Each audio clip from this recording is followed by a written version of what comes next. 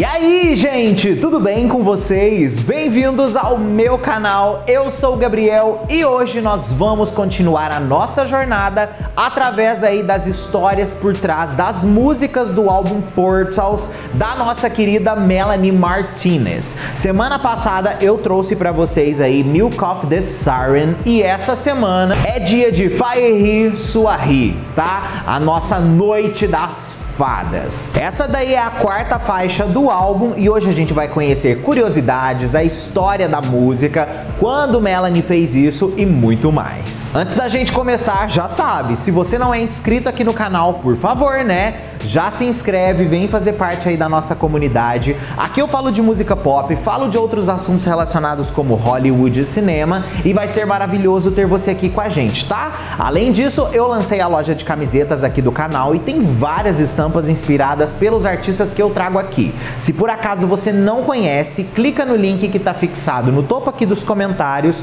ou na descrição desse vídeo para você ser redirecionado e conferir todas as estampas. É uma mais linda que a outra de todas as eras da lenda.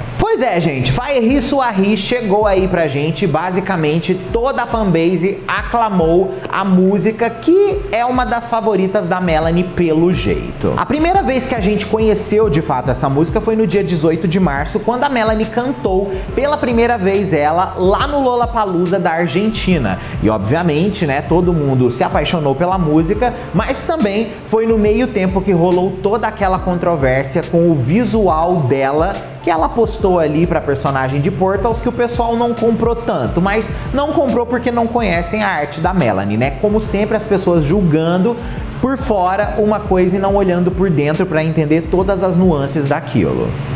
Essa foi uma das músicas que a Melanie gravou lá no Portal Room, que é o seu estúdio particular que ela tem em casa e que na verdade era da sua casa antiga, porque vale lembrar que ela vendeu aquela mansão dela linda que tinha a piscina de coração e lá que foi gravada essa canção. Porém, essa música foi produzida de uma forma um pouco diferente do que normalmente a gente testemunha as produções da Melanie. Ela entrou em contato com o Jeff Levin e pediu para que ele enviasse algumas pastas com faixas instrumentais de outros produtores a fim de criar canções fora da própria perspectiva que Melanie tinha, que normalmente era o que ela fazia. Ela acabou encontrando uma faixa que chamou muito a atenção dela, intitulada Respect Volume 1, produzida por Hoskins, que rapidamente chamou a atenção dela e fez com que ela começasse a escrever os primeiros versos ali da música Fire Suahi.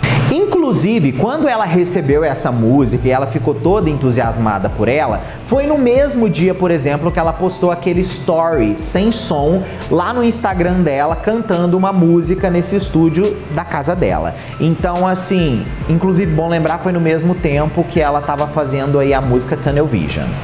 A segunda versão produzida foi feita pelo One Love e vazou posteriormente junto com outras canções naquele hack do Dropbox da lenda em 2021. A Melanie carregou depois um trecho no Instagram promovendo a música no dia 22 de fevereiro de 2023, pouco tempo depois do anúncio do álbum Portals. Vamos conhecer um pouco agora do tema por trás da letra da música, que é extremamente interessante. E essa provavelmente é uma das músicas mais utópicas que a Melanie já fez na carreira dela, ao mesmo tempo que é uma música que faz muito sentido dentro do Portals e de toda aquela realidade ali, principalmente porque ela tá meio que endossando uma fada como essa nova personagem que é essa ressurreição, vamos dizer assim, da Cry Baby. Essa música é sobre escapar da realidade e entrar em um mundo místico e mágico. A imagem de estrelas azuis descendo pela testa e asas frias batendo sugere um estado de sonho, enquanto a menção de cogumelos e festa das fadas alude a esse reino mágico. O refrão enfatiza a natureza com amor, tem um groove intensivo e uma frase bem repetida, que mostra provavelmente aí pra gente esses sussurros sobre este lugar místico em outro mundo. Facilmente, essa música atrai muito a nossa atenção porque ela é uma canção que também ela se difere, vamos dizer assim, um pouco do som do que normalmente a Melanie servia nos seus trabalhos com One Love. E isso foi uma coisa bem interessante porque a música é bem Melanie, mas trouxe uma outra perspectiva, algo que ela estava realmente buscando com essas coisas vindo de outros produtores, mas que deu muito certo no final das contas quando o projeto foi fechado. Bom, vamos conhecer agora algumas curiosidades sobre essa música que são super interessantes.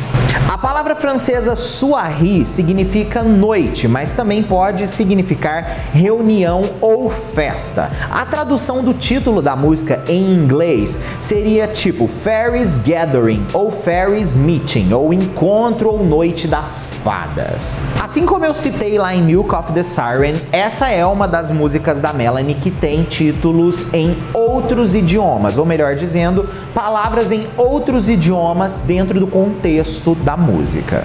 Essa também é a única música da carreira da Melanie que tem uma palavra em francês, ao contrário das outras que usam mais termos em espanhol.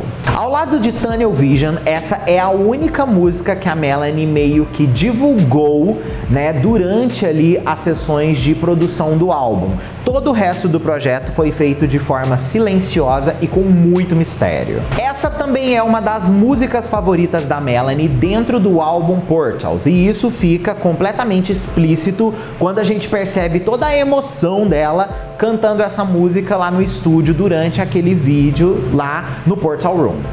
Essa música é uma das quatro também que foi escrita através dessa pasta enviada pelo Jeff. Outras canções que surgiram dessa mesma forma que a Melanie optou em produzir as músicas foram Leeches, Moon Cycle e Emerald, que não foi lançada. Essa música também tem mais alguns compositores do que apenas a Melanie, que é algo também que se difere bastante aí das outras músicas do Portals, que são bem, tipo assim, autênticas a toda a composição somente dela. A música Tunnel Vision basicamente acaba onde essa música começa, e esse é um ponto super interessante. Por quê? Porque ela repete a mesma situação na música seguinte, que é Light Shower. O nome original dessa faixa era Faeri Suahi V1. Sendo assim, a Melanie acabou fazendo a V2, que se tornou de fato a versão final. A V1, pelo jeito, é produzida com o instrumental enviado ali pelo Jeff. Bom, essa daqui é a história por trás da música Fairi Suahi e eu quero saber de vocês. Como você se sente em relação a essa música? Você gosta, você não gosta, você já se cansou, você tá amando ela mais do que na primeira vez que você escutou? Habla tudo aqui que eu quero saber, combinado? Ó, um beijo, a gente se vê no próximo vídeo ou live nossa aí. Tchau!